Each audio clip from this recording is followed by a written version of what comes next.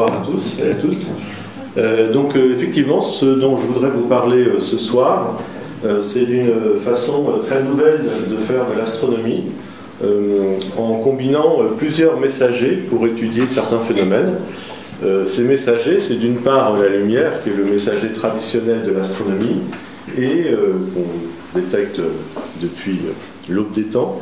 Et puis, le second messager, ce sont les ondes gravitationnelles qu'on ne sait détecter que depuis 2015.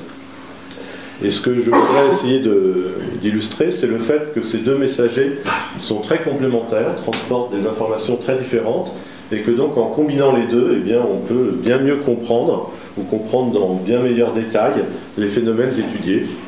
Et on va voir que pour euh, pouvoir produire euh, en quantité, un signal, disons, suffisamment intense, donc, gravitationnel, il faut des phénomènes particulièrement violents qui impliquent des astres très compacts, les trous noirs ou les étoiles à neutrons. C'est pour ça que dans le titre, on retrouve ces deux, catégories d'astres. Alors avant, pour euh, introduire le sujet, euh, eh je voudrais euh, brièvement montrer que ce n'est pas la première fois dans l'histoire de l'astronomie qu'on ouvre ce qu'on appelle une nouvelle fenêtre sur l'univers, une nouvelle façon d'observer l'univers. Et toutes ces ouvertures de nouvelles fenêtres ont toujours débouché sur des progrès très importants, avec très souvent même un renouvellement de la façon de, penser l'univers. Alors on peut dire que le, premier euh, dans, cette longue histoire, c'est euh, Galilée, parce que vous savez tous que Galilée est le, premier euh, dans l'histoire de l'humanité, du moins répertorié, à avoir eu l'idée de regarder le ciel autrement qu'à l'œil nu, mais en utilisant un instrument, donc à l'époque une lunette.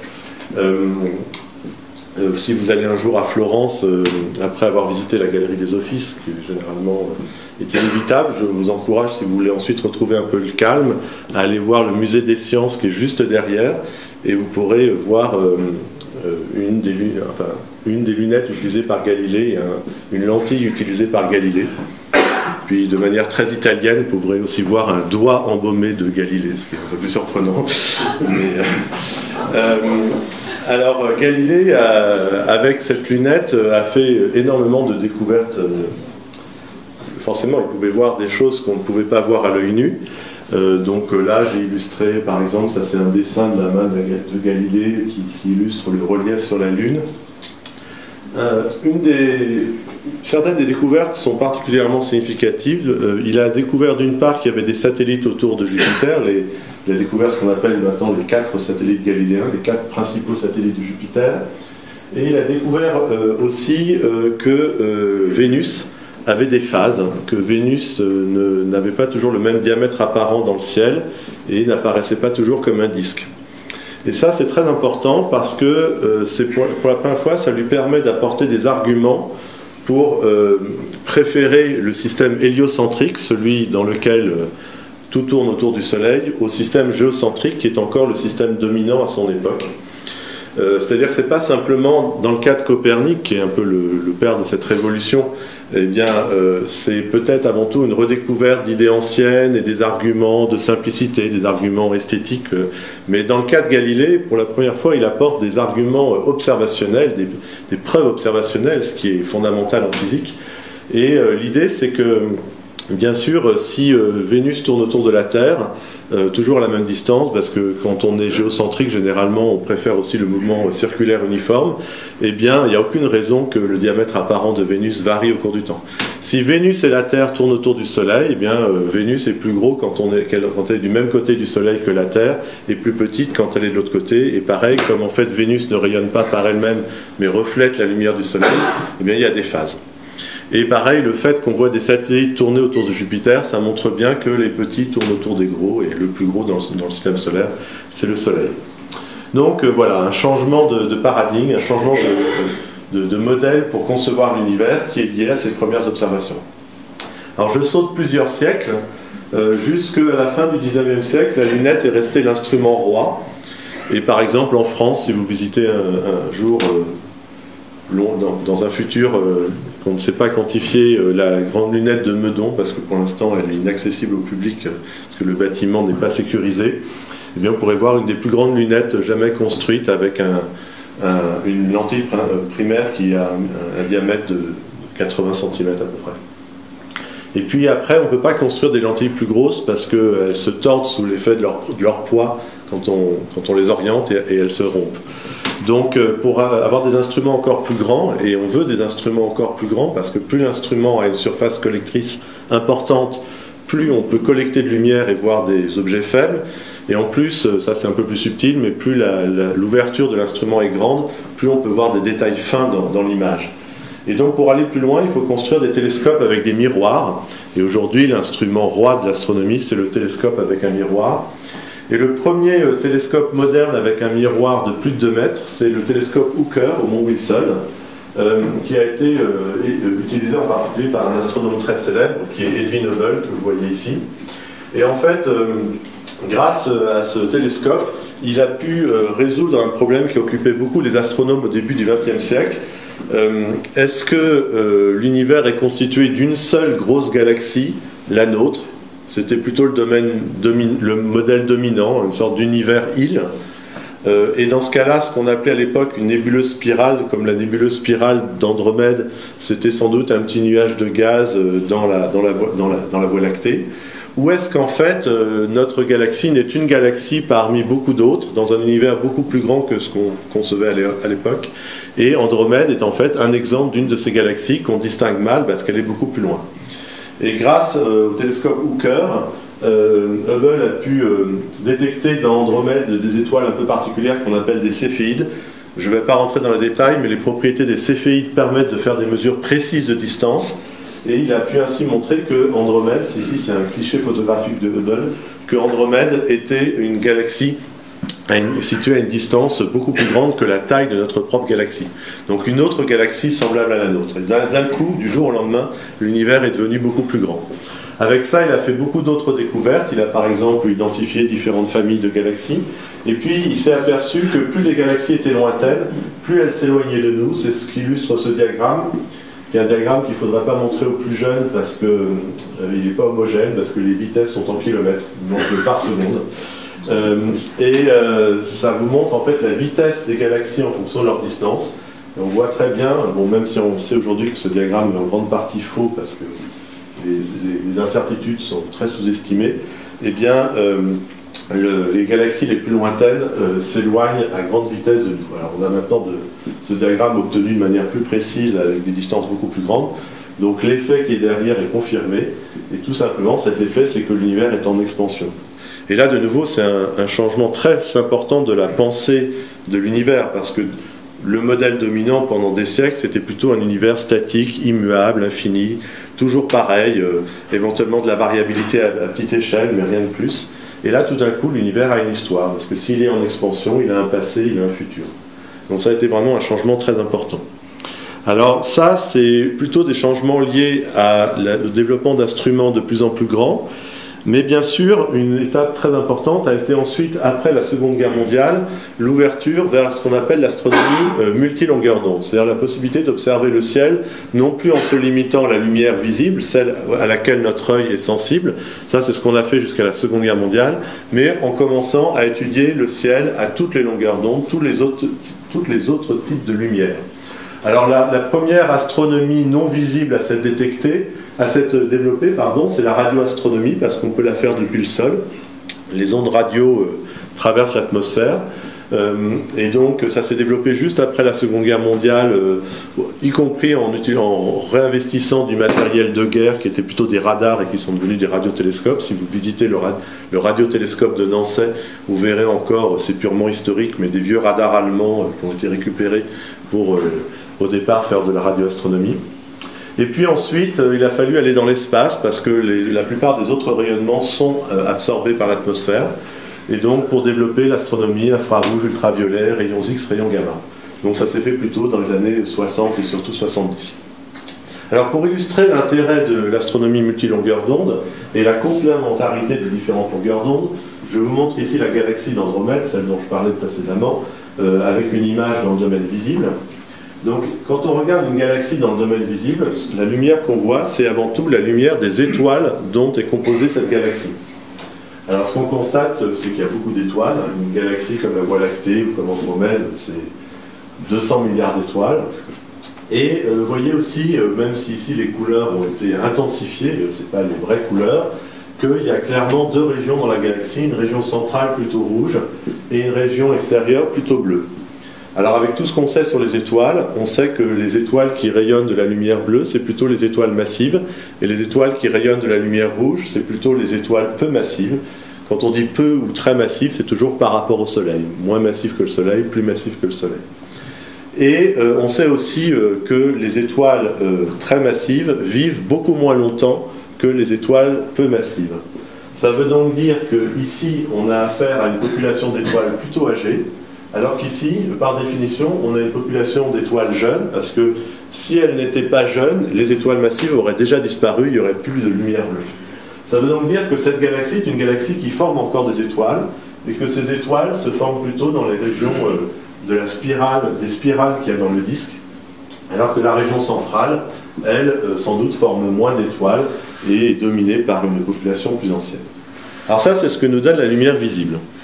Si ensuite euh, on fait de la radioastronomie, euh, on peut regarder différentes choses, mais en particulier, la radioastronomie est très utile pour tracer non plus les étoiles, mais le gaz. En particulier l'hydrogène, qui est l'élément majoritaire dans l'univers, et qui se trouve avoir une raie à 21 cm, pile dans le domaine de la radioastronomie. Vous avez ici la carte à 21 cm d'Andromède, et vous constatez donc que ce disque, dont la lumière visible nous disait qu'il était fait de plein d'étoiles, eh bien, il est aussi fait de plein de gaz. Et ça, bien sûr, c'est quelque chose que maintenant on comprend bien, parce qu'une galaxie, c'est avant tout un cycle de la matière en permanence entre le gaz et les étoiles. Le gaz sert à former les étoiles, et à la fin de leur vie, les étoiles éventuellement restituent une partie de leur matière au gaz. Ça s'accompagne d'un enrichissement chimique, parce que les étoiles, on va le voir, sont des usines nucléaires à fabriquer des éléments de plus en plus élaborés, et donc quand elles restituent leur gaz, euh, leur matière au gaz environnant, eh bien, elle restitue des éléments nouveaux qu'il n'y avait pas avant. Par exemple, le fait qu'on existe dit tout simplement que le Soleil n'est pas une étoile de première génération, parce que sinon elle serait constituée que d'hydrogène et d'hélium, mais qu'elle a été constituée à partir de gaz préalablement enrichis par des générations d'étoiles qui ont précédé, d'où la fameuse euh, expression de Carl Sagan reprise par Hubert Reeves, nous sommes de la poussière d'étoiles. Alors voilà, vous voyez tout de suite la complémentarité entre le visible et, la radio. Cette fois, on a à la fois les étoiles et le gaz. Alors si on regarde de plus près l'image visible, on s'aperçoit aussi qu'il y a des bandes sombres. Alors ces bandes sombres, ça veut dire qu'il y a quelque chose ici qui absorbe la lumière visible. Est-ce qu'on peut savoir ce que c'est? Eh bien oui, il faut aller dans l'infrarouge. Et si on regarde dans l'infrarouge, au miracle, les bandes sombres deviennent des bandes brillantes. D'accord? Et en fait, on sait aujourd'hui que dans le gaz, il y a aussi des particules solides qu'on appelle de la poussière, de la poussière interstellaire. Et cette poussière interstellaire est chauffée par la lumière des étoiles. Et chauffée par la lumière des étoiles, elle rayonne. Quand un corps est à une certaine température, il rayonne. Plus sa température est élevée, plus il rayonne à haute énergie. Une étoile comme le Soleil, sa température de surface est de 6000 degrés, ça rayonne dans le visible. La poussière, elle, n'est pas chauffée à 6000 degrés, elle est loin de la surface des étoiles, elle est chauffée à 300 degrés, même moins, 100 degrés, ce genre de choses, ça rayonne dans l'infrarouge. Et donc, quand je parle de degrés, ici, il s'agit de degrés Kelvin. Donc 100 degrés, on est en dessous du, 0 Celsius. Et donc, vous voyez de nouveau la complémentarité, et on sonde une troisième composante de, de la galaxie. Après les étoiles et le gaz, on a aussi de la poussière. La poussière joue un rôle très important dans la galaxie, en particulier dans la chimie des galaxies. C'est un peu le creuset de l'alchimiste galactique. C'est grâce à la poussière qu'on peut de temps en temps piéger des atomes pour faire des molécules un peu plus grosses, en particulier la, molécule de d'hydrogène qui est, euh, le, maillon euh, initial de toute la chimie interstellaire. Alors ça, euh, c'est pour illustrer euh, le multilongueur d'onde. Il me reste une dernière image en rayons X, toujours à la même échelle, la galaxie d'Andromède en rayons X. En rayons X, on voit plus le gaz. Il n'est pas assez chaud pour rayonner en rayons X. les rayons X, c'est des rayons très énergétiques, des rayons qui pénètrent très bien la matière. C'est pour ça qu'on les utilise pour faire de la radiographie médicale. Et euh, on ne voit pas non plus les étoiles. Les étoiles ne sont pas assez chaudes pour rayonner en rayons X. Il faut, faut, des millions de Kelvin pour rayonner en rayons X. En fait, ce qu'on voit, c'est des cadavres stellaires, des trous noirs ou des étoiles à neutrons, sur lesquels de la matière tombe, et cette matière en tombant ben, fait la chute libre la plus prodigieuse de, l'univers. Elle, gagne énormément d'énergie, elle chauffe considérablement, et donc elle devient une source brillante en X. Et au miracle, où est-ce qu'on trouve le plus de cadavres stellaires? Dans la région centrale, où on avait dit tout à l'heure qu'on avait une population âgée d'étoiles. Vous voyez l'énorme cohérence qu'il y a entre ces différents messagers. Entre, ici, c'est le même messager, la lumière, mais entre ces différentes longueurs d'onde, et la grande complémentarité en termes d'information. Alors voilà, ça c'était tout ce qu'on pouvait faire avec de la lumière, ici illustré sur une galaxie. Et maintenant, ce dont je veux parler ce soir, c'est ce qu'on peut faire quand en plus on rajoute d'autres messagers. Alors qu'est-ce qu'il peut y avoir comme autre messager? Alors historiquement, le premier autre messager, c'est le rayonnement cosmique, c'est des particules chargées ultra-relativistes qui voyagent dans la galaxie. J'en parlerai pas ce soir. Euh, et puis ensuite, euh, dans les années 60, on a été capable de détecter les neutrinos. Ça, ça a été euh, une étape importante, en particulier pour prouver que ce qu'on avait compris sur le Soleil était vrai. J'en parlerai très peu ce soir. Le problème des neutrinos, c'est que c'est horriblement difficile à détecter. Donc les premières détections datent de la fin des années 60. Et encore aujourd'hui, disons, dans le domaine des neutrinos de basse énergie, il n'y a que deux sources détectées, le Soleil et une supernova en 1987. Et euh, dans les neutrinos de plus haute énergie, avec une expérience qui s'appelle Ice Cube, dont vous avez peut-être entendu parler, qui est enfouie dans l'Antarctique, et eh bien depuis 2013, on détecte des neutrinos de haute énergie. On en a peut-être une centaine au total. Et pour l'instant, on, on essaye de caractériser ces neutrinos, mais on est incapable de dire de quelle source ça vient une astronomie vraiment très difficile. Et puis le dernier messager, ce sont les ondes gravitationnelles, c'est le sujet central de ce soir. Et la première détection a eu lieu en 2015. Et en 2017 a eu lieu la première détection qui combinait ondes gravitationnelles et lumière et qui va donc pouvoir illustrer la complémentarité de ces messagers. Mais pour en arriver là, il faut d'abord que j'essaye de vous expliquer ce que sont les ondes gravitationnelles. Et la difficulté ici est réelle parce que les ondes gravitationnelles, c'est une prédiction de la relativité générale qui n'est pas réputée comme la théorie la plus simple de toute la physique. Donc je vais vous faire la relativité générale en deux minutes avant de faire les ondes gravitationnelles. Donc, euh, donc pour faire la relativité générale, euh, je suppose que tout le monde sait ici que la Terre tourne autour du Soleil. Sinon, on va repartir beaucoup plus loin. Euh, et même éventuellement, euh, si peut-être que certains disent c'est pas tout à fait vrai, effectivement, précisément, euh, la Terre et le Soleil tournent autour de leur centre de masse commun. Mais le Soleil est beaucoup plus massif que la Terre. Ce centre de masse est quasiment au centre du Soleil. Donc c'est pas trop faux de dire que la Terre tourne autour du Soleil. Donc quand on dit la Terre tourne autour du Soleil, eh bien, on a un point de vue newtonien, un point de vue de mécanique classique. En fait, ce qu'on dit, c'est que la Terre est formée dans le système solaire avec une certaine vitesse initiale. S'il n'y avait pas le Soleil, la Terre continuerait indéfiniment en ligne droite à vitesse constante, ce qu'on appelle le mouvement rectiligne uniforme. C'est le principe d'inertie qui est dû à Galilée et qui est le premier principe de la dynamique de Newton. Et euh, en fait, la Terre n'est pas dans un vide, il y a le Soleil à côté. Le Soleil exerce une force sur la Terre, qu'on appelle la force de gravitation, dont la loi a été identifiée par Newton. Et cette force communique une accélération à la Terre qui la fait tourner autour du Soleil. Et c'est aussi Newton qui est l'auteur de la loi de la dynamique qui relie la force et l'accélération. C'est un problème qui est bien résolu depuis Newton et qui est parfaitement compris. Alors Einstein, au début du XXe siècle, a complètement changé le point de vue sur la gravitation avec une théorie plus aboutie qu'on appelle la relativité générale. Et dans cette théorie, eh bien, euh, il n'y a plus de force.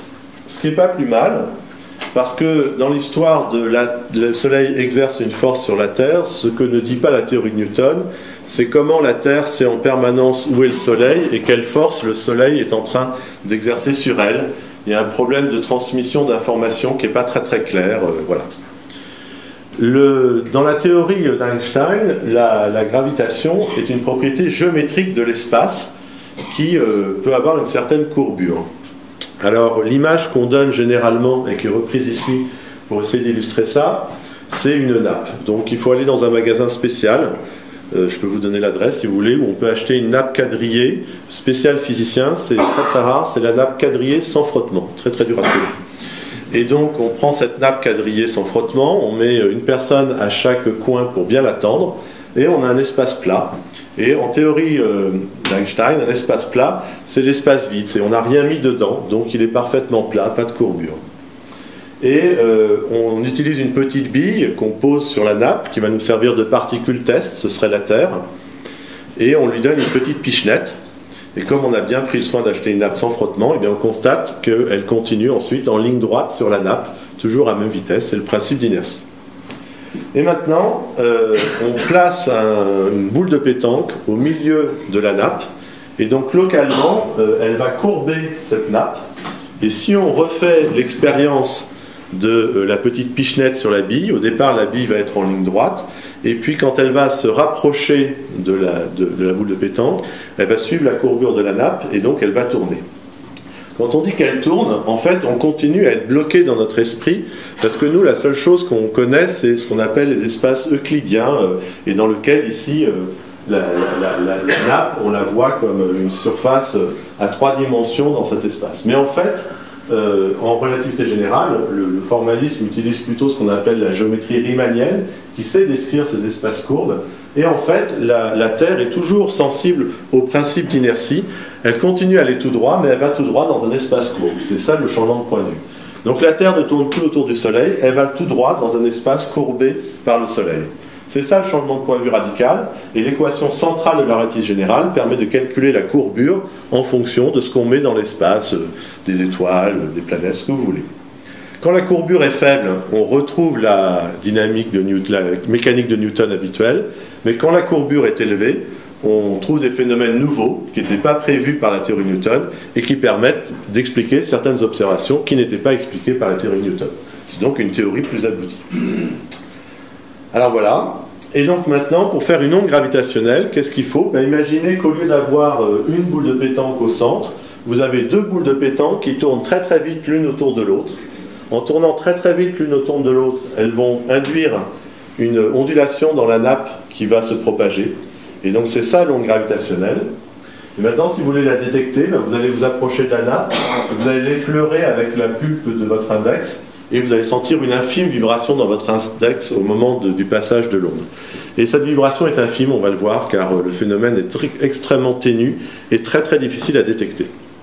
Alors concrètement, quand on fait un peu plus dans le détail la théorie de ces ondes gravitationnelles, on s'aperçoit que la manifestation du passage de l'onde gravitationnelle, par exemple s'il y a une onde gravitationnelle qui traverse la pièce, c'est localement des variations des distances ou des durées, c'est la même chose, euh, et des variations qui dépendent de la direction. si par exemple la longue gravitationnelle se propage de cette manière-là, donc la direction de propagation est dans ce sens, et eh bien dans les plans perpendiculaires à la direction de propagation, vous allez avoir en alternance sur un axe les longueurs qui vont s'étendre et sur l'autre axe les longueurs qui vont se contracter, et, bien, et puis ça va osciller comme ça.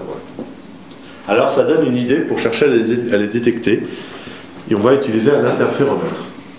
Alors l'interféromètre euh, est un instrument bien connu en physique, peut-être que certains d'entre vous euh, avaient eu l'occasion de manipuler un interféromètre de Michelson euh, en travaux pratiques, et ça repose sur la nature ondulatoire de la lumière. L'idée c'est que si on a un faisceau lumineux qu'on sépare avec une lame séparatrice, qu'on fait rebondir sur deux miroirs, et si la longueur entre la lame séparatrice et les miroirs est la même, eh bien, euh, les, pics de l'onde se combinent de manière additive et vont faire ce qu'on appelle une figure d'interférence positive avec une tache lumineuse au centre.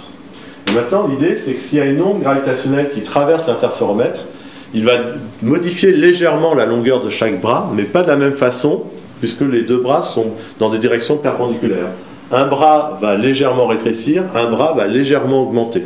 Et ça va donc dérégler l'interféromètre, et ce dérèglement va modifier la figure d'interférence, et c'est ça qui va nous dire qu'une onde gravitationnelle est passée. Alors ça a l'air facile comme ça, mais en pratique, si euh, une onde gravitationnelle comme celle qu'on détecte actuellement euh, traverse la Terre, euh, et si on avait un instrument de la taille de la Terre, ce qui n'est pas le cas, eh bien, la petite modification de distance qu'il faudrait mesurer, ce serait de l'ordre de la taille d'un noyau d'atomes, c'est-à-dire un millionième de milliardième de mètre, 10 15 mètres.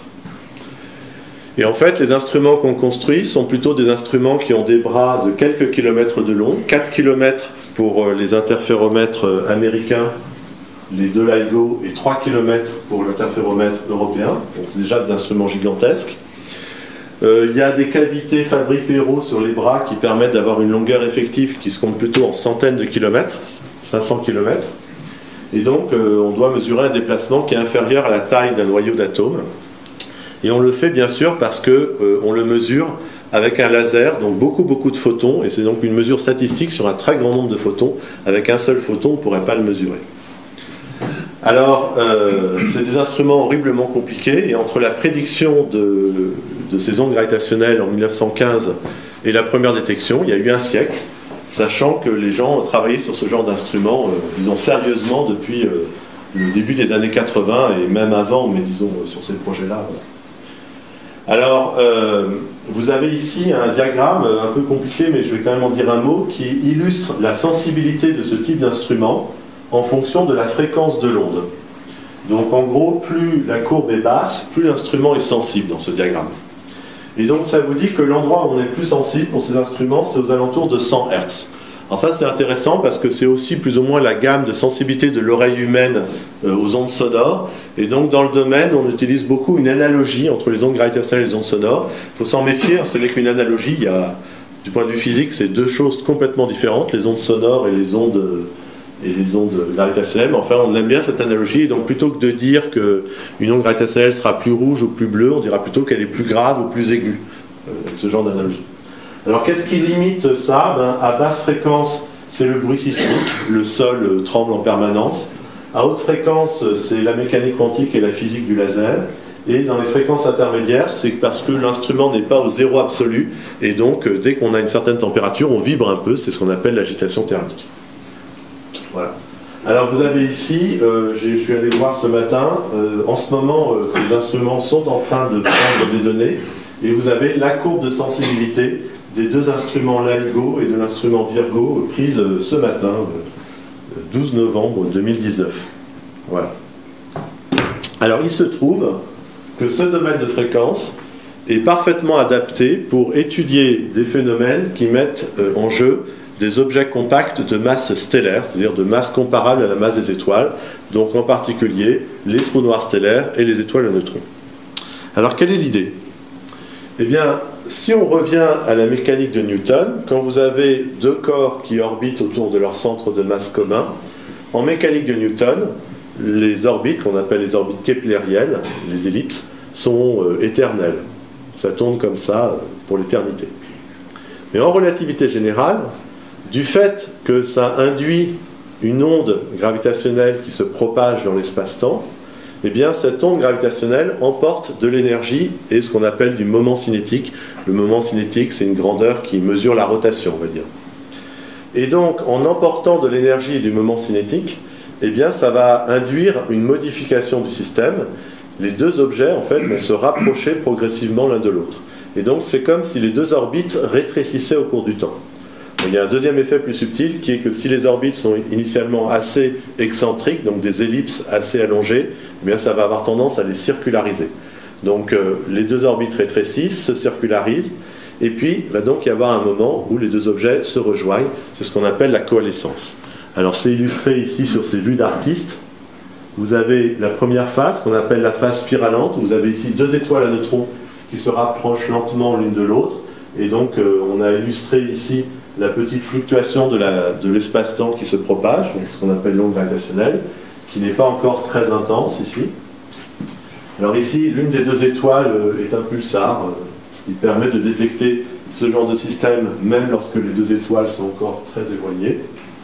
Et puis, euh, dans une deuxième phase, eh bien, mince, j'ai pas dû faire ce qu'il fallait, dans une deuxième phase, voilà, eh bien, les deux étoiles finissent par se rejoindre, c'est la coalescence. Et une fois que les deux étoiles fusionnent, hein, c'est quelque chose d'assez compliqué parce que ces deux objets très denses, on va le voir, donc c'est vraiment une collision assez violente. La région centrale va s'effondrer sur elle-même et va donner l'objet le plus exotique de l'astrophysique, qui est le trou noir.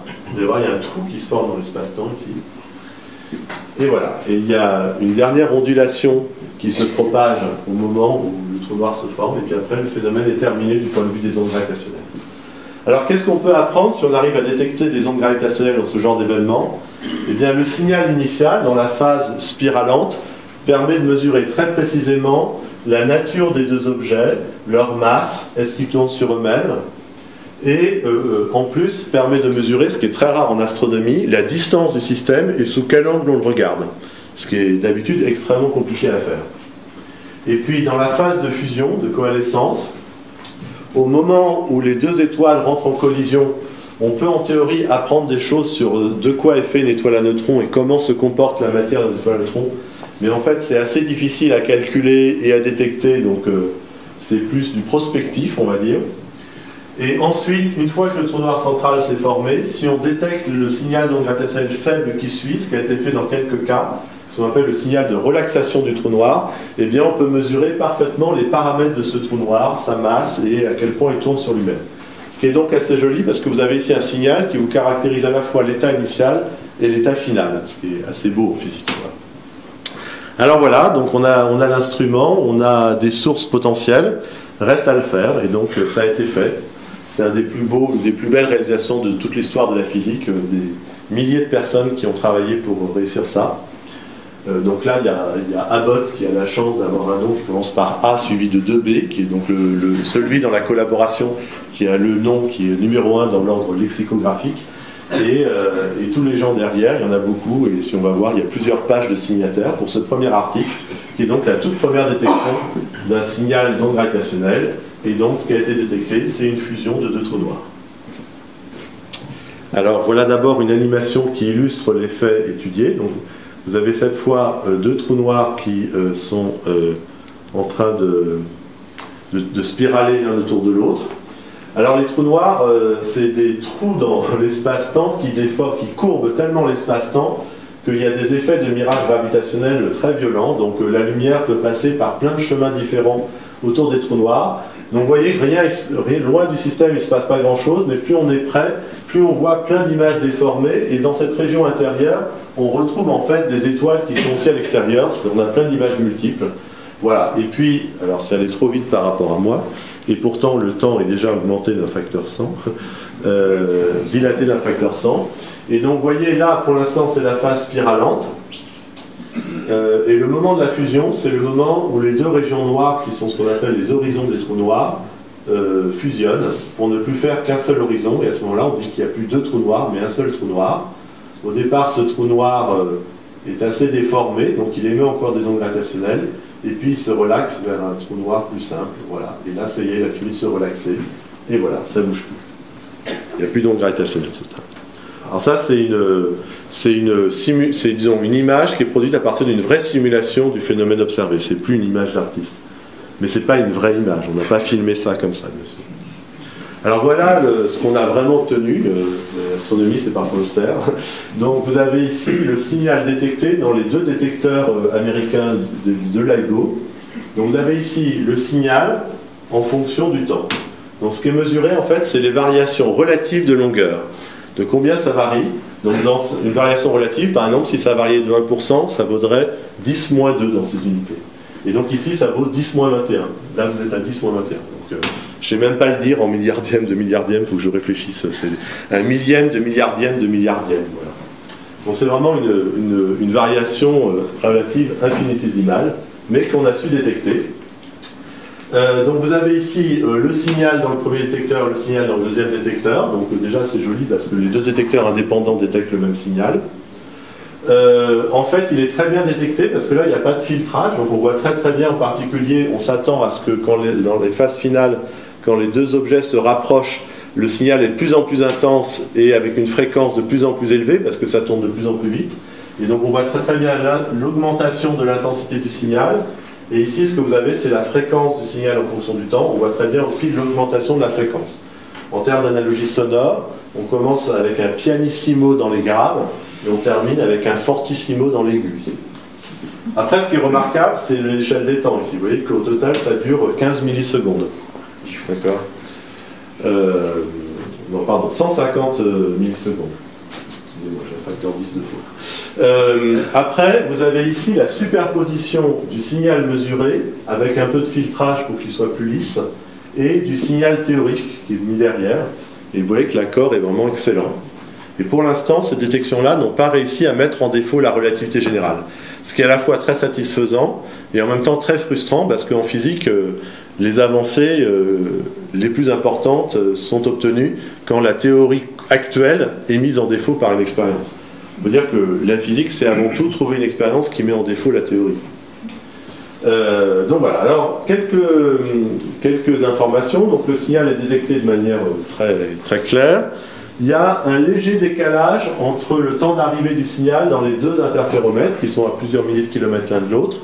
Et donc ça, ça permet de faire de la triangulation. Hein, par exemple, s'il euh, il y avait euh, quelqu'un qui parlait ici, eh bien je l'entends avant vous, d'accord? Et si on mesure le temps entre moi quand je le détecte et vous, connaissant la vitesse du son dans la pièce, on pourrait savoir euh, dans quelle direction il est. S'il est à la même distance de nous, le signal arrive en même temps. S'il est plus près de moi que de vous, il arrive avant chez moi. Voilà. Alors on peut faire ça, mais la triangulation avec juste deux détecteurs, c'est pas terrible.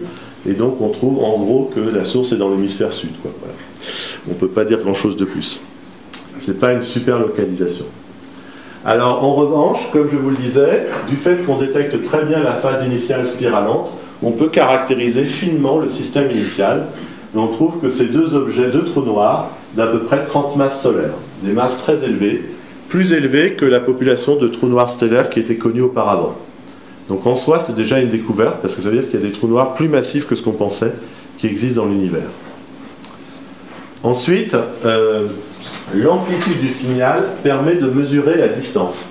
Et pour le signal gravitationnel, c'est étonnant, le, signal décroît comme 1 sur la distance, alors que pour la lumière, c'est 1 sur la distance au carré.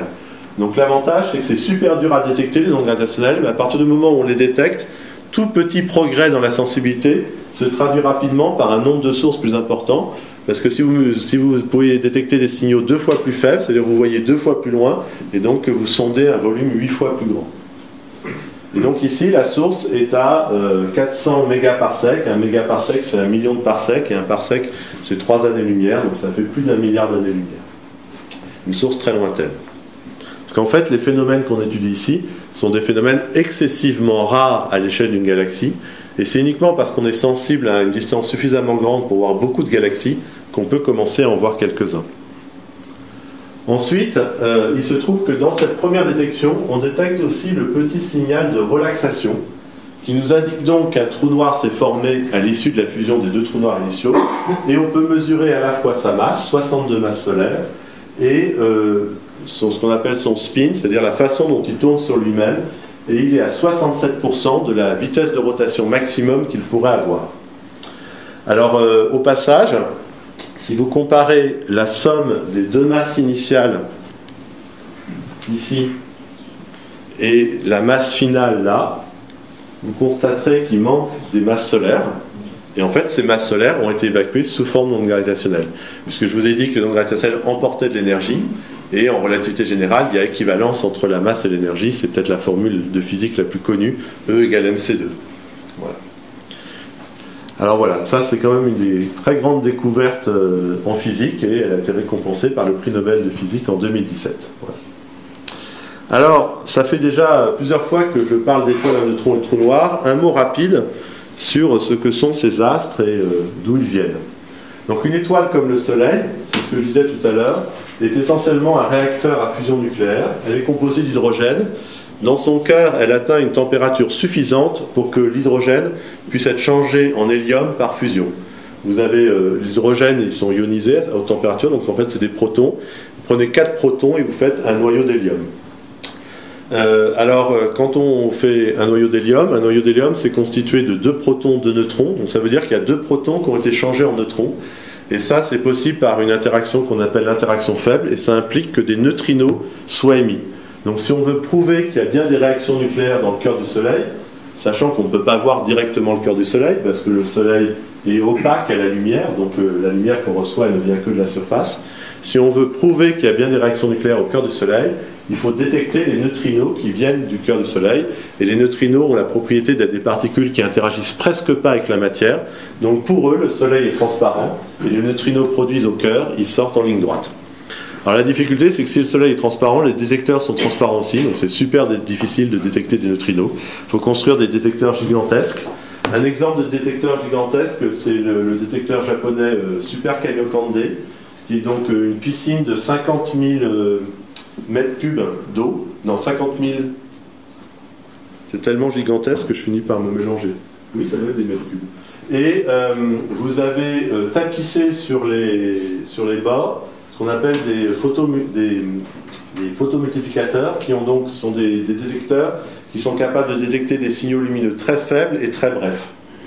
Et l'idée, c'est que si la majorité des neutrinos qui viennent du Soleil traversent la piscine sans la voir, et pourtant il y en a beaucoup, hein, chaque fois que chaque seconde là, qui se passe, chaque centimètre carré de votre main est traversé par 60 euh, milliards de neutrinos euh, venus du Soleil mais euh, l'interaction faible est tellement faible que durant toute votre vie, la probabilité qu'un de ces neutrinos interagisse avec une particule de votre corps est quasi nulle.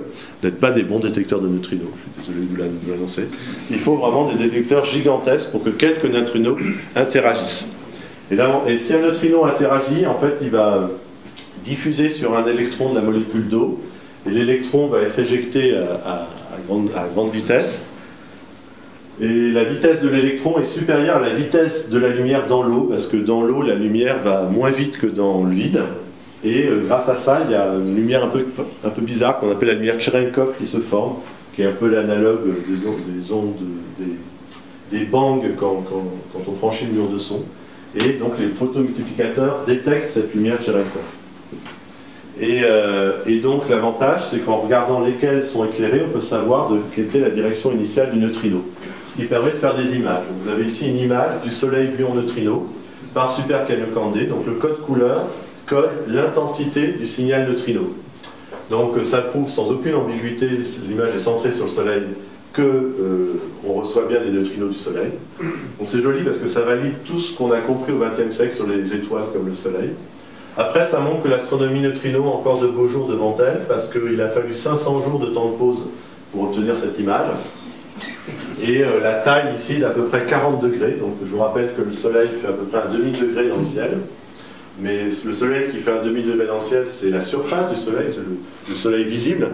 Ici, ce qu'on sonde, c'est le cœur du Soleil qui est beaucoup plus petit. Et donc il n'est absolument pas résolu. Bon, c'est pas une tâche de diffraction, hein, c'est autre chose, parce qu'ici c'est un détecteur de neutrinos. Mais le Soleil n'est pas du tout résolu. Et euh, je pense que de notre vivant, on ne verra pas le Soleil résolu par un détecteur de neutrinos. Progrès qui paraissent inconcevables pour l'instant pour pouvoir le faire. Mais ça prouve quand même que, le Soleil est bien le réacteur nucléaire qu'on pensait. Alors à la fin de la vie du Soleil, qu'est-ce qui se passe? Eh bien quand il n'y a plus d'hydrogène dans le cœur, la fusion s'arrête. Euh, la fusion s'arrête, donc euh, dans ce cas-là, le, le, Soleil, qu'est-ce qu'il fait? Eh bien, le cœur va se contracter lentement ce qui va augmenter sa température et il va atteindre un nouveau seuil en température. Donc euh, dans la phase actuelle où il, convertit son hydrogène en hélium, il est à 10 milliards de, Kelvin, 10 millions de Kelvin. Dans la phase suivante, il va être à 100 millions de Kelvin et là il va changer son hélium en euh, carbone, il va devenir ce qu'on appelle une géante rouge. Et puis euh, de nouveau rebelote, plus d'hélium, donc la fusion s'arrête il se recontracte un peu, mais il va jamais atteindre une température suffisante pour amorcer un nouveau cycle de fusion nucléaire. Donc euh, essentiellement, la, vie de l'étoile est finie. Le cœur euh, va atteindre une nouvelle configuration d'équilibre où le poids est équilibré par une force pressante très exotique qu'on appelle la pression de dégénérescence des électrons, qui est une, une force, une pression d'origine quantique. Donc euh, ça permet aux astronomes d'observer à l'échelle macroscopique des effets quantiques. C'est des étoiles très petites, très compactes, qui ont en gros la taille euh, d'une planète, mais la masse d'une étoile. la plus connue des naines blanches, c'est Sirius B, le compagnon de Sirius A, l'étoile la plus brillante du ciel. Et puis les parties externes de l'étoile sont expulsées et forment euh, des objets qu'on aime bien observer au télescope et qui sont des nébuleuses planétaires. Ça, c'est les étoiles pas trop massives comme le Soleil. Tout ça va durer 10 milliards d'années, on est à peu près à la moitié. Pas d'inquiétude. Alors ensuite, euh, les étoiles plus massives, donc euh, il faut être en gros plus de 8 fois plus massif que le Soleil, eh bien à chaque fois qu'un cycle de fusion nucléaire est terminé, le cœur arrive à se contracter un peu plus jusqu'à obtenir une température suffisante pour amorcer encore un nouveau cycle de fusion. Donc après l'hélium, on, on va faire la fusion du carbone, de l'oxygène, etc., du néon, jusqu'à la fusion du silicium qui donne du fer.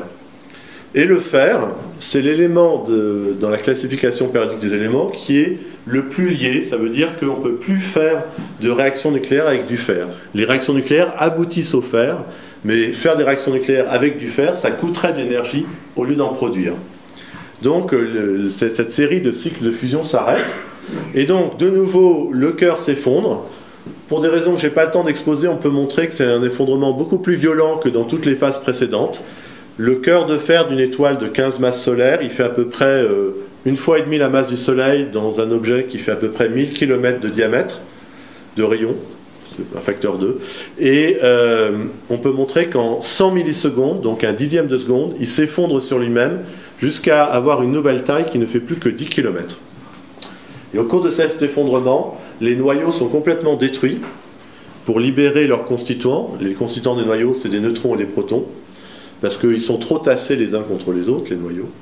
Et puis, euh, pour des raisons un peu plus compliquées, les protons se changent en neutrons. Donc à l'arrivée, quand on ne fait plus que 10 km, eh bien essentiellement on est composé de neutrons. Et donc on fait ce qu'on appelle une étoile à neutrons. Et quand vous mettez une fois et demie la masse du Soleil dans 10 km, euh, bah, d'abord c'est super dense, c'est le milliard de tonnes au centimètre cube. Donc je vous rappelle qu'un centimètre cube c'est à peu près ça, voilà. Et là-dedans vous mettez un milliard de tonnes, donc c'est le milieu le plus dense qu'on connaisse dans l'univers. Ça permet de faire de la physique dans des conditions très particulières qu'on ne peut bien sûr pas reproduire au laboratoire. Et, euh, et à cette distance-là, les distances entre les particules sont de l'ordre, voire légèrement inférieures aux tailles d'un petit noyau. Et donc il y a une nouvelle force qui joue un jeu, qui est la force nucléaire, qui va être à l'origine de la pression qui permet d'équilibrer le poids dans ces étoiles. Alors ça, c'est que le cœur. Ensuite, le reste de l'étoile, l'enveloppe étendue, en 100 millisecondes, elle n'a pas le temps de réagir, puis tout d'un coup, elle s'aperçoit que le sol s'est dérobé sous ses pieds. Donc elle commence à tomber à son tour. Elle tombe, mais elle pile sur l'étoile à neutrons, qui est le mur le plus dur de l'univers. Et donc va se former une onde de choc, et tout va repartir dans l'autre sens. Et c'est comme ça que le reste de l'étoile va exploser, et va faire ce qu'on appelle une supernova. Vous avez ici une nébuleuse célèbre qui porte le numéro 1 dans le catalogue de Messier, la nébuleuse du crabe. Et la nébuleuse du crabe, c'est en fait le reste d'une étoile dont l'explosion a été observée en 1054. C'est assez beau parce que 1000 ans plus tard, on continue à voir que le gaz ici est en expansion rapide à plus de 1000 km par seconde. Et à partir de sa vitesse et de sa taille actuelle, on peut dater euh, le reste et on trouve bien que ça, fait 1000 ans, donc ça correspond bien à l'observation de la supernova. Donc ça, c'est une étoile qui a explosé, et donc on prédit qu'au cœur, il doit se former une étoile à neutrons. Et l'étoile à neutrons est effectivement observée. Alors c'est pas facile à observer. On peut l'observer en rayons X. C'est la tâche centrale ici très brillante, grâce au fait qu'il y a tout un plasma à grande vitesse qui est éjecté par l'étoile et qui rayonne quand il vient cogner contre la nébuleuse, qu'on appelle la nébuleuse du vent du pulsar. Donc ça, c'est en rayons X. Et plus généralement, ces étoiles à neutrons tournent très, très vite sur elles-mêmes et sont fortement magnétisées, donc produisent une espèce d'effet de phare en ondes radio, avec un faisceau radio qui tourne comme ça à très grande vitesse, et à chaque fois que le faisceau radio passe dans votre direction, vous détectez un pulse. Et dans le cas du pulsar du crabe, on détecte un pulse tous les 40 millisecondes. Ça veut dire que cet objet qui fait une fois et demie la masse du Soleil, qui a la taille de grand, du Grand Paris, 10 km, fait un tour sur lui-même en 40 millisecondes. Voilà. 33, pardon. 33 millisecondes, j'étais pas loin. Voilà. Alors ça, c'est les étoiles à neutrons. Donc voilà comment se forment les étoiles à neutrons. Et pour les trous noirs, c'est le cas encore plus extrême où le cœur de l'étoile qui s'effondre est tellement massif que même la, pression d'origine nucléaire au moment où les distances deviennent très petites n'est pas suffisante pour équilibrer le poids. Et dans ce cas-là, en relativité générale, il n'y a pas d'alternative à la formation d'un trou noir. Toute la masse doit virtuellement se retrouver en un seul point au centre, ce qu'on appelle la singularité. C'est ce qui est schématisé sur ce diagramme d'espace-temps. Et on espère un jour avoir une théorie plus aboutie, une théorie qui serait sans doute quantique, qui permettrait de savoir réellement quelle est la nature de cette singularité. La relativité générale ne répond pas à cette question.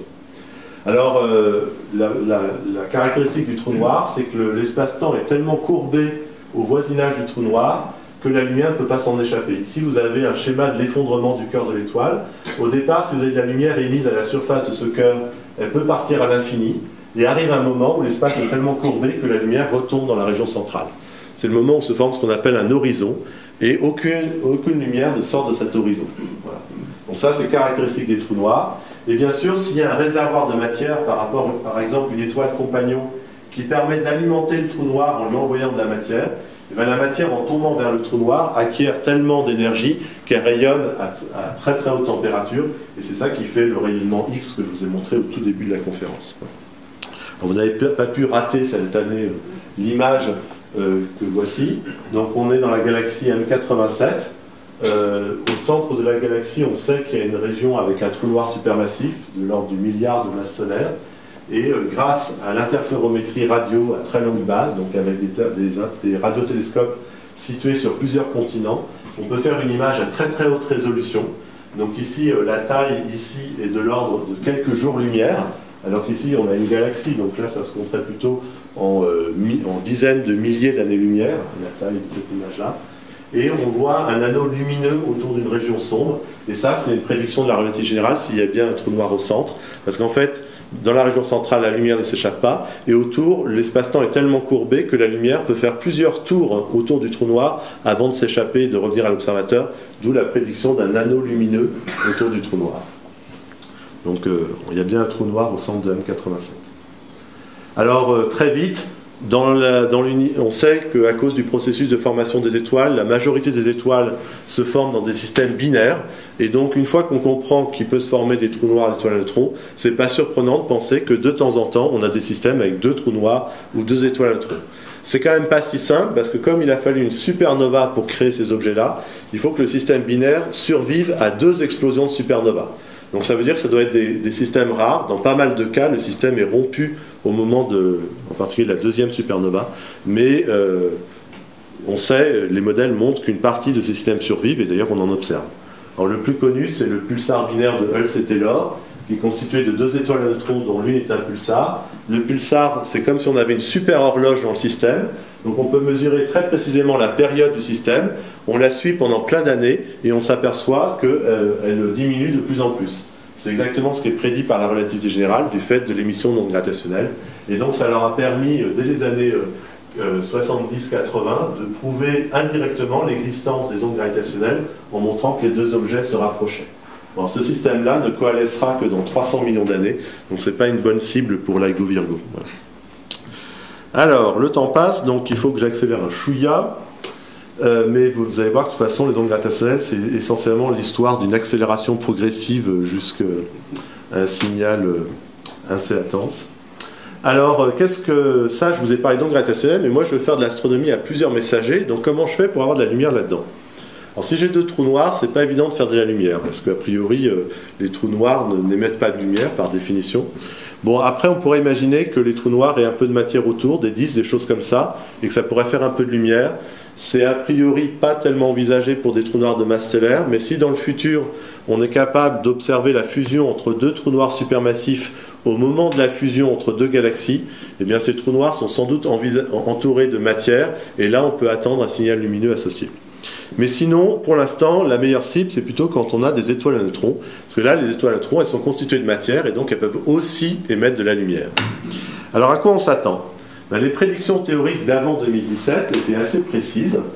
Si vous avez les deux étoiles à neutrons qui fusionnent, la région centrale s'effondre dans un objet très compact, a priori un trou noir, ou éventuellement une nouvelle étoile à neutrons très très massive une partie de la matière ne tombe pas dans le trou noir, mais est immédiatement expulsée à grande vitesse, et une partie reste liée et forme un disque autour du trou noir. Alors dans la partie expulsée à grande vitesse, on a de la, matière qui est extrêmement riche en neutrons, puisqu'elle est issue de l'étoile tronc, et aussi en noyaux lourds, parce que l'étoile neutron a encore des noyaux lourds dans la partie euh, externe, dans ce qu'on appelle la croûte de l'étoile neutron, parce qu'il y une croûte, c'est les seules étoiles qui ont une croûte solide qui ne veut pas dire qu'on peut marcher dessus, parce que la différence entre le poids ressenti au niveau des pieds et au niveau de la tête est telle que ce n'est pas recommandé. Euh, et, en fait, cette matière très riche en neutrons va donc être le lieu d'une nucléosynthèse, c'est-à-dire de réactions nucléaires très particulières qui ne se produisent que, que très rarement, où vous avez des noyaux déjà lourds qui capturent très très vite des neutrons, ce qu'on appelle le processus de capture rapide de neutrons, pour grossir, grossir, grossir et former des noyaux vraiment lourds. Et ensuite, on se retrouve avec un noyau très déséquilibré, avec beaucoup trop de neutrons par rapport au nombre de protons. Et donc, les neutrons se désintègrent en protons pour revenir vers ce qu'on appelle en physique nucléaire la vallée de la stabilité. Et donc, euh, on s'attend à ce que cet éjecta soit enrichi en éléments lourds radioactifs, et que cette radioactivité va donc chauffer l'éjecta, qui va ensuite refroidir en rayonnant.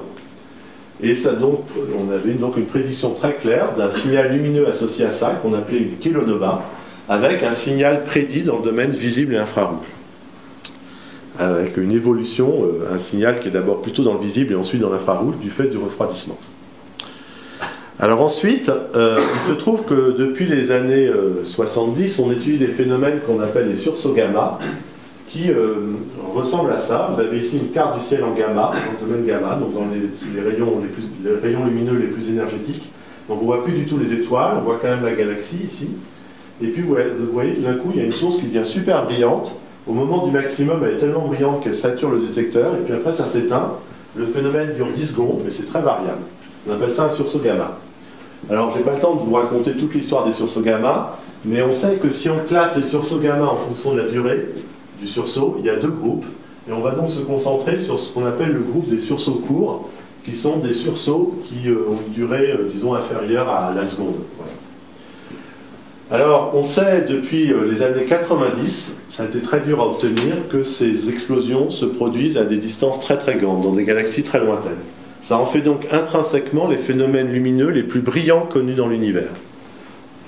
Et grâce à beaucoup d'observations, euh, on sait aujourd'hui que le groupe des sursauts longs est associé à des cas extrêmes d'explosion d'étoiles massives.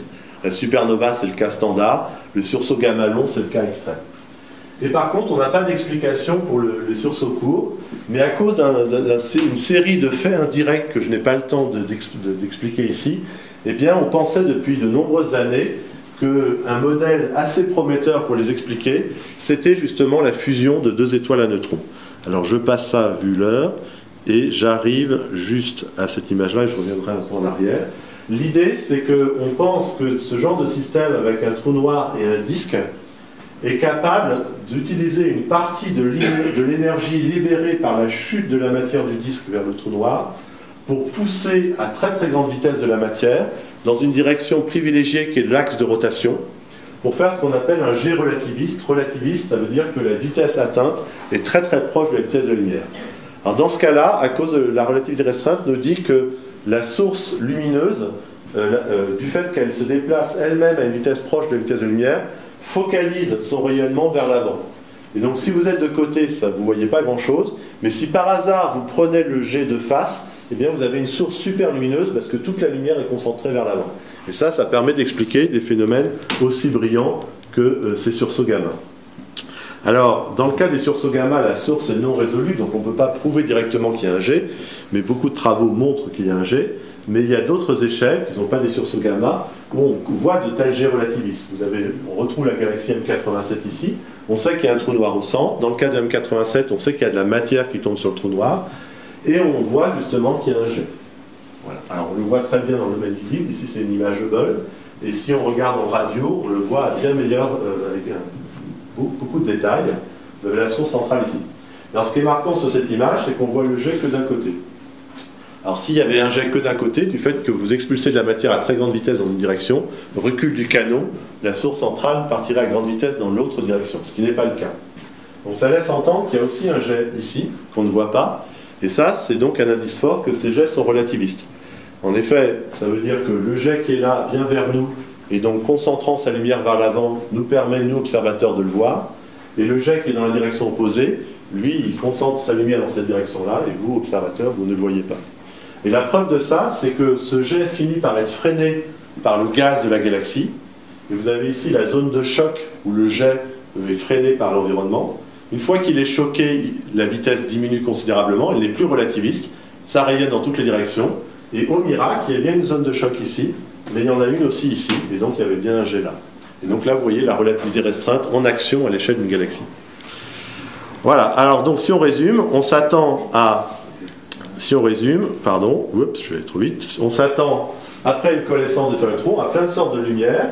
La kilonova liée à cet éjecta. Euh, pas très relativiste et qui va dans toutes les directions, et éventuellement un sursaut gamma lié à un jet comme celui-là s'il se produit, et puis ensuite ce jet est freiné par l'environnement, et donc on doit avoir une émission associée à ce freinage qu'on appelle une émission rémanente. Et donc on arrive pour conclure au 17 août 2017, où par miracle on a tout détecté. Alors, euh, ça commence à 12h41 temps universel. Alors qu'est-ce qui se passe? Eh bien, tous les astronomes qui s'intéressent au sursauts gamma reçoivent un télégramme automatique, enfin un email, du satellite Fermi, qui est le grand satellite d'observation du ciel dans le domaine des rayons gamma, et qui dit je viens de détecter un sursaut gamma court très, très faible. Il est à peine au-dessus du seuil de détection. Donc s'il n'y avait rien eu après, euh, personne ne serait intéressé à cet événement, il est trop faible pour lancer une campagne pour chercher à trouver sa rémanence, par exemple. Mais, quelques minutes plus tard, les algorithmes automatiques de traitement de LIGO et de Virgo disent on vient de détecter un signal. Alors, il y a eu des petits soucis, euh, il a fallu, ça a pris un peu de temps parce qu'il a fallu confirmation par l'œil humain parce que l'ordinateur était perturbé par ce truc-là qu'on appelle un glitch, qui est juste qu'il y a eu un mini tremblement de terre au mauvais moment. Quand on dit un mini tremblement de terre, c'est hypersensible, hein, donc c'est peut-être juste un gros camion qui est passé au mauvais endroit au mauvais moment. Hein, euh. et en fait, l'œil humain est supérieur euh, à l'ordinateur parce que l'œil humain voit très bien quand même le signal dessous, mais voilà. Et donc, on voit bien que le signal est détecté, et on constate immédiatement qu'il est détecté sur une durée beaucoup plus longue que les signaux précédents que je vous ai montrés. Et ça, la théorie nous dit que c'est des objets moins massifs, donc immédiatement, les, physiciens qui étaient de veille à l'ALGO font la connexion avec la dépêche de Fermi qu'ils ont reçue. Ici, on a peut-être pour la première fois détecté deux étoiles à neutrons et non pas deux trous noirs. Et justement, il y a eu un sursaut gamma court à détecter au même moment. Et quand ils remettent bien les chronomètres dans l'ordre, parce que les temps de traitement ne sont pas les mêmes pour Fermi et pour LIGO, ils s'aperçoivent que le signal gravitationnel au moment de la coalescence, c'est-à-dire l'instant zéro marque ici le signal le plus intense, le moment où les deux étoiles neutrons fusionnent, eh bien ce signal-là est arrivé deux secondes avant le sursaut gamma. Donc la chronologie est dans le bon ordre. Alors immédiatement, ils envoient eux aussi une dépêche à tous les astronomes intéressés en disant ça et en disant euh, c'est donc potentiellement un événement très intéressant et on est en train d'essayer de travailler pour vous donner une carte dans le ciel de la région d'où vient le phénomène. Alors la première alerte elle est venue 40 minutes après à cause de ces traitements compliqués et il aura fallu 5 heures pour produire la carte du ciel. Maintenant ça s'automatise de plus en plus et c'est plus rapide que ça. Enfin c'est déjà pas mal. Et donc voilà ce que ça donne. Alors l'astuce est la suivante, c'est qu'en fait euh, le, signal n'est détecté que dans deux instruments, les deux LIGO, et pas dans l'instrument européen, le Virgo. Si on prend en compte uniquement la détection dans les deux LIGO, la région dans le ciel, c'est la région en bleu, et elle est quand même assez grande, elle fait 200 degrés carrés, donc c'est une zone très importante à explorer dans le ciel. Mais je vous ai dit, l'analyse du signal gravitationnel a cette propriété merveilleuse de aussi donner la distance.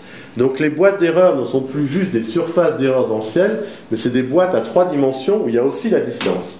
Et en l'occurrence, ce que dit le, signal, c'est que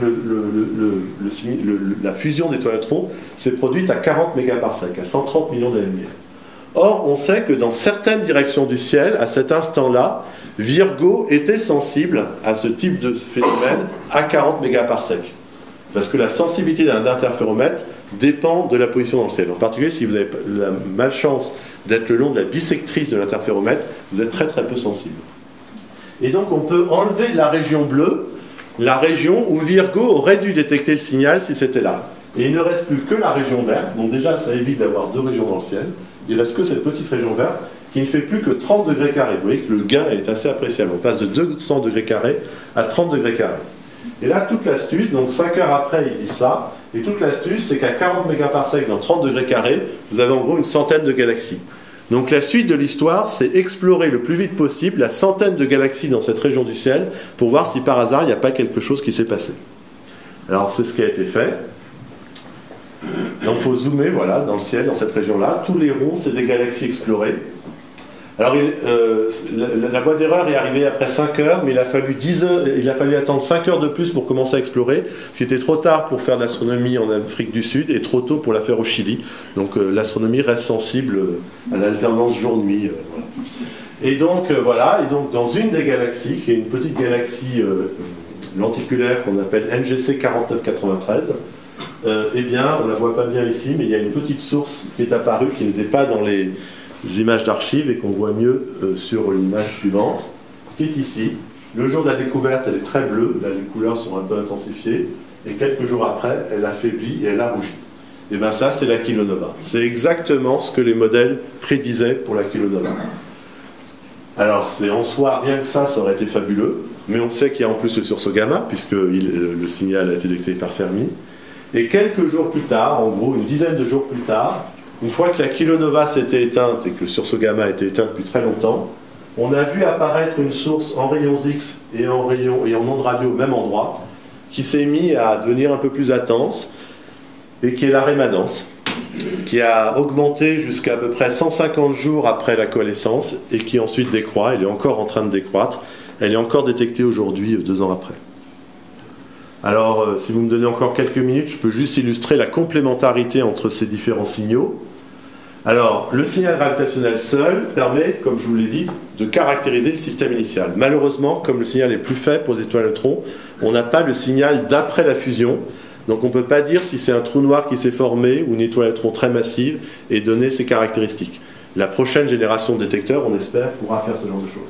Mais par contre, on sait parfaitement quelles étaient les deux étoiles initiales, leur masse, ce genre de choses et on se connaît la distance et l'orientation. On sait en particulier que par rapport à l'axe de rotation du système, eh bien, on est incliné d'à peu près une vingtaine de degrés par rapport à cet axe.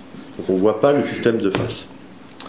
Alors ensuite la kilonova. Donc vous avez ici un film qui euh, vous montre. Alors ça a été une campagne d'observation fabuleuse. Hein. Il y a des, centaines d'observatoires sur Terre qui ont suivi ces objets pendant cette, semaine historique du mois d'août 2017. Et donc euh, vous avez ici euh, pas n'importe quel observatoire, hein, c'est l'ESO, donc les instruments européens au Chili, avec à gauche l'image et à droite ce qu'on appelle le spectre de la lumière de la kilonova qui est ici. Donc le spectre, ça vous donne la répartition en couleurs, si vous voulez, de la lumière. Euh, donc le bleu de ce côté, le rouge est là et l'infrarouge est là. C'est la longueur d'onde qui est sur euh, l'axe des X pour ceux à qui ça parle. Et donc, si j'arrive à lancer le film, voilà. Vous avez donc ici la kilonova qui va apparaître. Là, pour l'instant, on est avant l'événement, et voilà, qui est bleu au départ et qui rougit.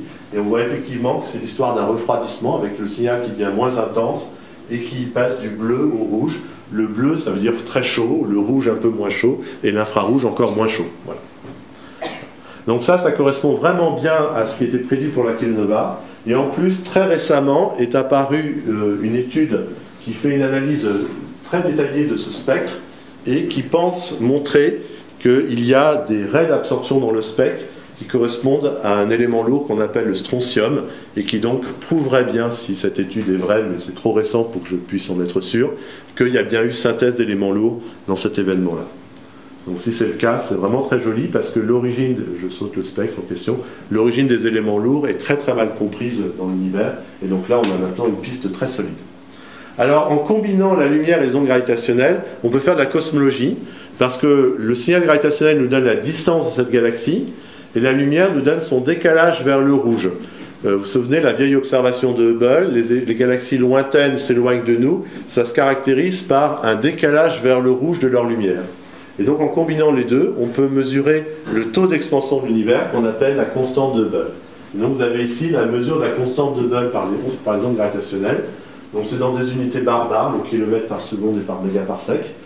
Et euh, vous avez ici la mesure, c'est une densité de probabilité, donc la valeur la plus probable est ici euh, obtenue par les ondes gravitationnelles. Et euh, derrière, vous avez les deux grandes méthodes actuelles de mesure de cette constante, qui diffèrent légèrement, mais pas de beaucoup. Et vous voyez qu'on est au bon endroit. Et l'idée, c'est que là, on a un seul point en ondes gravitationnelles. Donc si un jour on a un échantillon d'une centaine d'événements du même type, on aura une mesure très précise qu'on pourra comparer peut-être qui permettra de résoudre la tension entre les deux autres méthodes. Alors ça, c'est les ondes gravitationnelles, la kilonova. Maintenant, je vous montre le signal du sursaut gamma et le léger décalage avec les ondes gravitationnelles. Donc vous allez avoir en bas le signal gravitationnel. Comme il y a une analogie sonore, on a converti le signal en ondes sonores. Donc vous allez entendre que le signal passe du grave à l'aigu et du pianissimo au forte. Et puis en haut, vous allez avoir le signal gamma. Au début, c'est que du bruit. Puis de vous allez voir le pic du sursaut gamma. Et vous allez pouvoir constater des visus. Là, c'est en temps réel qu'il arrive après.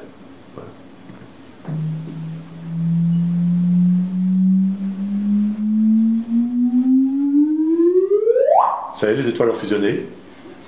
Et voilà, le sursaut gamma est arrivé. Alors avec ça, qu'est-ce qu'on peut faire? Alors si on est physicien euh, théoricien, on se dit, supposons que tout a été émis en même temps, ça me dit qu'à l'arrivée, il y a au maximum 2 secondes de décalage entre le signal gravitationnel et le signal lumineux, alors qu'on a parcouru 130 millions d'années-lumière. Ça montre que la vitesse du signal gravitationnel et la vitesse de la lumière sont presque la même. Disons, sont très très proches. En fait, ça vous met une limite supérieure sur la différence de vitesse. C'est parfaitement compatible avec une vitesse égale, qui est la prédiction de la relativité générale. Pour euh, les futures théories quantiques de la gravité, ça met une limite sur la masse du médiateur de la gravité, qui serait l'hypothétique graviton, et cette masse est compatible avec une masse nulle. Disons, elle est très très faible. Et puis surtout, si on est astrophysicien comme moi, qui travaille depuis des années sur les sursauts gamma, c'est très intéressant parce qu'on voit ici un sursaut gamma qui est très faible, alors qu'il est très proche par rapport aux autres sursauts gamma. Mais les ondes gravitationnelles nous donnent une information qui est on ne le prend pas de face. Les sursauts gamma super brillants, c'est ceux où on prend le jet relativiste de face. Là, justement, les ondes gravitationnelles me disent qu'on le voit de côté. Et donc, ça veut dire que pour la première fois, on a la chance d'observer un tel jet légèrement de côté. Et donc, euh, l'étude détaillée du signal et de la rémanence que je vais vous montrer doit permettre de reconstituer parfaitement la géométrie de ce jet. Alors, la rémanence aide beaucoup pour ça. Donc, vous avez ici la courbe de lumière de la rémanence en fonction du temps. Donc, c'est une échelle, vous avez ici 1 jour, 10 jours, 100 jours, 1000 jours. Et vous avez l'intensité du signal avec euh, en bleu les rayons X en bleu clair l'optique et en rouge et jaune les ondes radio. Alors vous voyez qu'il a fallu euh, presque 150 jours pour atteindre le pic et ensuite ça redescend. Alors l'idée c'est que euh, ça nous apprend quelque chose de très important sur le jet. Il y a bien un jet central très relativiste, mais ce que ça nous dit c'est qu'il y a autour de la matière qui est un peu, avec un peu moins d'énergie qui va un peu moins vite. Alors l'idée c'est qu'au départ, comme tout va très vite, vous ne voyez que la lumière qui vient vers vous, c'est la seule qui focalise sa lumière dans la bonne direction. Et donc c'est pas très intense parce que c'est sur le côté, là où il n'y a pas trop d'énergie. Et puis plus ça freine, moins la lumière est focalisée, et donc on commence par, à explorer des régions qui sont un peu plus vers la région centrale, et le moment du pic, c'est le moment où pour la première fois, le jet central a suffisamment décéléré pour que même lui ne focalise plus assez sa lumière et nous permette de l'observer. Et donc c'est très joli parce que là on voit, on est en train de, c'est comme si on faisait une tomographie de, ce jet relativiste. Et alors ça a été confirmé par l'interférométrie radio, la même technique qui a permis de faire l'image de M87, qui a permis d'avoir une telle résolution dans l'image qu'on peut voir le déplacement apparent de la source dans le ciel. C'est un déplacement très très faible, et quand on regarde combien ça s'est déplacé dans le ciel, donc c'est un tout petit angle en fonction du temps, connaissant la distance, on peut remonter à une vitesse apparente, et la vitesse apparente est supérieure à la vitesse de la lumière. Et ça, c'est un phénomène bien connu, c'est un effet de projection qui n'est possible que si intrinsèquement la matière va à une vitesse très proche de la vitesse de la lumière. Donc ça prouve que la région centrale est bien ultra-relativiste, bien à une vitesse très vitesse. C'est la première fois qu'on a une information aussi directe sur un jet relativiste. Et donc je vais conclure en disant que pour l'instant, dans cette astronomie lumière plus onde gravitationnelle, malheureusement, on n'a qu'un phénomène, qu'un objet détecté. On espère en avoir d'autres dans les années à venir. Mais cette première détection est vraiment très belle parce qu'on n'aurait pas pu rêver mieux. Tout ce qui était prédit théoriquement est là. La kilonova, le sursaut gamma, la rémanence. Et donc là, maintenant, on a de quoi s'occuper pendant des années pour disséquer toute cette information et apprendre plus de choses sur ce que devient le système après la fusion. Dans la première phase de, campagne d'ondes gravitationnelles de l'ALGO Virgo, qui a eu lieu entre 2015 et 2017, il y a eu au total 11 détections, 10 systèmes de deux trous noirs, un seul, système de deux étoiles neutrons, celui que j'ai commenté en détail. Mais depuis avril 2019, il y a une nouvelle campagne en cours avec une meilleure sensibilité. Et il y a déjà une trentaine de candidats dont 3-4 euh, candidats étoiles à neutrons et même des candidats de couple mixte qui étaient prédits euh, théoriquement mais qu'on n'avait jamais détectés avec une étoile à neutrons et un trou noir. Malheureusement, pour l'instant, les boîtes d'erreur sont très très grandes et donc on n'a pas pu détecter de lumière associée. Je ne sais pas si pendant la campagne en cours on arrivera à faire une détection de ce type, c'est difficile, on est à la limite de ce qu'on arrive à faire. On a sans doute eu de la chance en 2017 d'avoir un événement très proche. Mais dans les années à venir, il y aura plus d'interféromètres. Il y a un projet au Japon, un projet en Inde. Et plus on en a, plus les boîtes d'erreur diminuent. Donc plus ça devient facile de chercher la lumière. Et en plus, on aura une nouvelle génération de télescopes qui sera capable de, chercher très rapidement des sources dans une très grande région dans le ciel, en particulier le futur télescope LSST, qui est capable de faire quasiment la moitié du ciel en une nuit.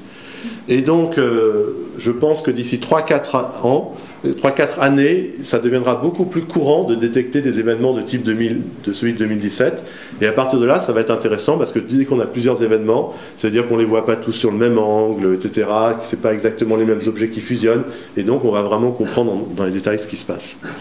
Alors, euh, je ne vous montre pas ça. L'avenir des ondes gravitationnelles, ensuite, c'est de construire des instruments à plus basse fréquence. Il faut aller dans l'espace pour faire du millihertz avec le projet LISA. C'est toujours la même technique d'interféromètre, sauf que maintenant le bras fait un million de kilomètres. C'est pas de la science-fiction, on pense pouvoir le faire. C'est vers 2030-2035. Avec ça, on sera sensible aux trous noirs supermassifs. Donc on pourra avoir des fusions de trous noirs supermassifs quand deux galaxies rentrent en fusion. Puis si on veut aller à des fréquences encore plus basses, le nanohertz, là ça devient difficile parce que la longueur d'onde est tellement grande qu'elle est beaucoup plus grande que la taille du système solaire, donc on ne peut plus fabriquer des interféromètres. Donc il faut utiliser des sources naturelles qui sont les pulsars. Les pulsars sont des horloges super précises. Et donc, si on a un réseau de pulsars, et s'il y a une onde gravitationnelle qui passe au milieu du réseau de pulsars, eh bien on s'attend à ce que les pulses se décalent légèrement pour certains pulsars, et on peut espérer détecter les ondes gravitationnelles de très basse fréquence comme ça. Alors il y a des gens qui essayent de faire ça actuellement. Pour l'instant, la sensibilité n'est pas terrible par rapport au modèle théorique du signal attendu, mais euh, dans l'avenir, avec les nouveaux radiotélescopes comme le, Square Kilometer Array, ça peut devenir possible. Et ce qu'on espère observer dans ce cas-là, c'est la superposition de toutes les fusions qui ont lieu dans l'univers. Et donc, c'est d'apprendre quelque chose sur euh, l'histoire de la formation des galaxies et des trous noirs qu'elles abritent. Voilà, et puis pour finir, un dernier transparent, si vous me le permettez, pour faire un vœu, mon vœu le plus cher, pour l'événement qui serait euh, au cœur de cette astronomie multimessager, et que tout le monde attend avec impatience. Euh, c'est une, supernova galactique, et une supernova galactique à effondrement de cœur, donc avec formation d'un objet compact. Pourquoi? Parce que la dernière supernova de ce type observée, c'est celle qui a donné naissance à la supernova, à la nébuleuse du crabe, en 1054. Donc les astronomes chinois ont été très chanceux en 1054. Je dis chinois parce qu'en Europe, ça n'intéressait pas les gens à l'époque. Euh, il y, a un monastère qui dit on a vu une étoile brillante apparaître dans, le ciel, on a tous eu très peur. C'est la seule observation astronomique européenne de SN 54. Et puis après, euh, à l'époque moderne, euh, contemporaine, ce qui s'en rapproche le plus, c'est une supernova qui a eu lieu dans le grand nuage de Magellan en 1987, dans la nébuleuse de la Tarentule, et en fait a été accompagnée de cette supernova une détection d'une vingtaine de neutrinos. Donc c'est un autre type d'astronomie multimessager, lumière plus neutrinos. Mais s'il y avait aujourd'hui une supernova dans notre galaxie, du fait qu'on serait dix fois plus près, on aurait plutôt plusieurs milliers de neutrinos, donc on aurait un spectre, une courbe de lumière, on verrait en direct le cœur de l'étoile massive s'effondrer. Et pour peu que l'étoile soit pas tout à fait à symétrie sphérique, ce qui est normalement attendu parce que toutes ces étoiles tournent, eh bien on doit avoir aussi un signal gravitationnel. Et donc pour la première fois, on aurait une, observation à trois messagers, ondes gravitationnelles, neutrinos et lumière. Et là, après, on peut prendre sa retraite. Voilà. Ben, je vous remercie pour votre attention.